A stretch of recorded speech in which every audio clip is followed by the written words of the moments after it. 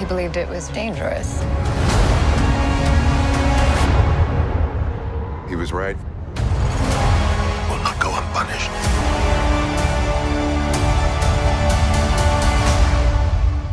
We should tell him the truth.